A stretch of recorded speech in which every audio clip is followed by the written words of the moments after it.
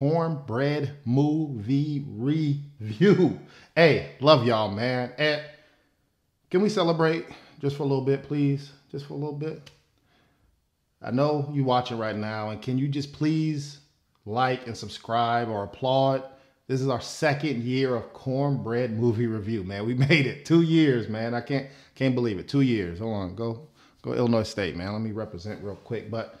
Um, I appreciate all the comments, all the likes, all the subscribes, all the back and forth, the banter that we have over those two, really three calendar years, but two years total um, that we've been doing this. So thank you guys again. I cannot do it without you. And I'm going to keep going, bro. I'm not stopping. I literally be going to the movies every week, man.